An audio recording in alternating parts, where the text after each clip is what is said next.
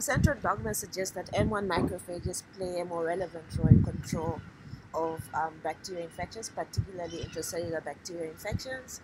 Um, what is the difference between macrophage type 1 and type 2? So macrophages type 1 and type 2 from central dogma suggests that um, the M1 phenotype is really involved in inflammation.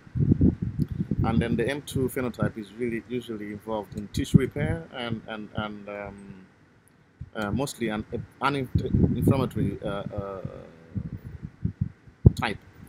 Uh, although this has been done, I think, on um, usually in vitro work and also in mouse models, and but there's a lot of now um, talk about whether this is uh, this is true in vivo, and uh, we're doing some work in this area. How has your research added or contradicted to this, uh, particularly when you're looking at macrophages in the lungs or alveolar macrophages? So, so from our work, we recently did a study where we were looking at uh, the phenotype of macrophages in the lung. And we did this in two populations. We did it in the population of Africans and then in, uh, in the UK, in the population of Europeans. What was obvious to us is that when you look at the macrophage phenotype, the main subset of macrophages seems to have ex expressing both the classic M1 and M2 markers, suggesting that maybe this M1, M2 classification does not always apply to all macrophages. And also, uh, other people are now beginning to see the same thing. And the now new dogma on this is that M1 and M2 phenotype is probably usually a continuum. So macrophages can go through these two sets, states depending on the environment that they're in.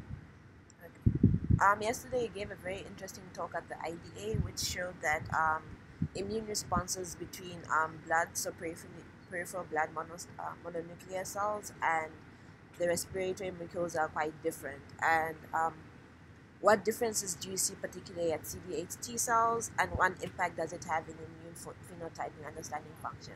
So for example, when you classically look at CD8 responses, you look at cytotoxic ability and the ability to kill cells or produce granzyme molecules and you kind of put the the cytokine expression profiles at the back of your an- analysis.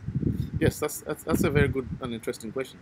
So when we started this work, we really wanted to understand um, why does HIV persist in the lung. So previously we had done some work to show that you can find HIV-infected macrophages, HIV-infected T cells in the lung, even in individuals that have been suppressed uh, in terms of plasma uh, viremia.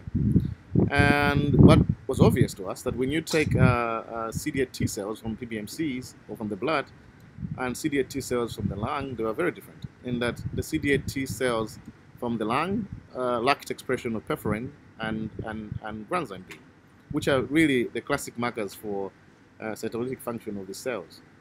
So, uh, of course, not in every individual do you find this kind of phenotype.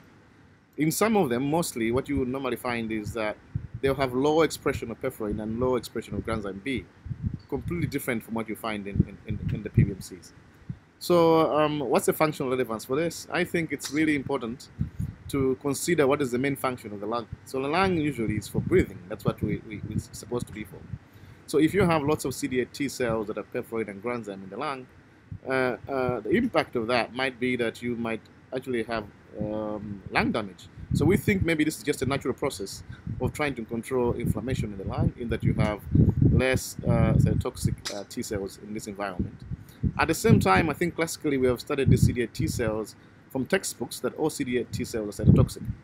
But even from blood, you can see that not all CD8 T cells express perforin and granzyme, suggesting that uh, CD8 function is not only about cytotoxic potential in terms of perforin and granzyme, but even the anti, uh, um, cytokine producing function of the CD8 is extremely important.